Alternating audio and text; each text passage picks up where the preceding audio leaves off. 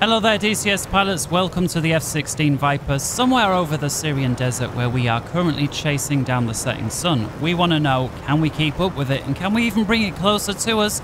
I don't know. Let's find out. Three, two.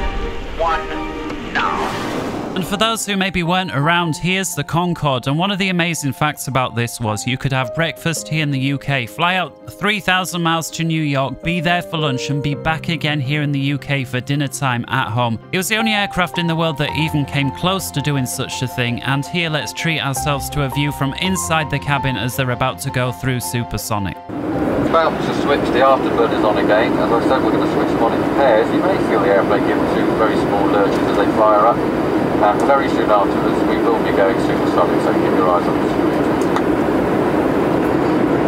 Okay, we're about to switch them on now.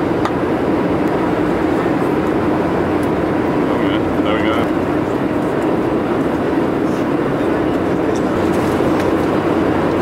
And we're now supersonic.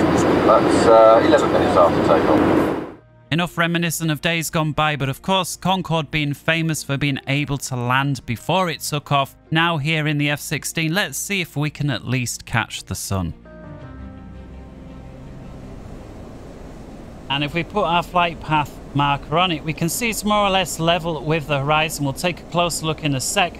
And so with that done, let's zoom in now on the heads-up display. We'll brighten up the heads-up display. And we can see the sun is exactly level with the horizon. Well, that makes sense because we just saw that the sun just had gone down. And I guess they measure that from the center of the sun, which we can see here. Half the sun there below the horizon line. So what I'm going to do now, we'll maintain the height that we're at, which is 14,000 feet. We'll go full burner. And although we won't be able to reach Mach 2 down here, Hopefully we can get fast enough to see. And I'm going to compress time and just try and remember in your mind's eye what that looks like there. The autopilot is on. It's going to maintain us around 14,700 feet. And as we compress time here, there we see the acceleration beginning to take place. Looks like we're going to cap out about Mach 1.6-ish. Not quite at 14,700 feet.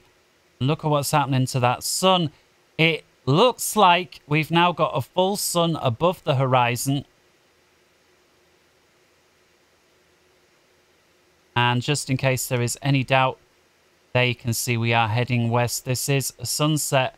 If you want to see just how fast we are moving through time, the time compression, you can see there. 10 seconds, 10 seconds, 10 and seconds. And so with that, we can safely conclude that yes, the F-16 or indeed any aircraft at all that is capable of traveling around Mach 1.5 or greater can catch up with the sun. And until next time, that's it from me. Good morning, good afternoon, good evening, and good night.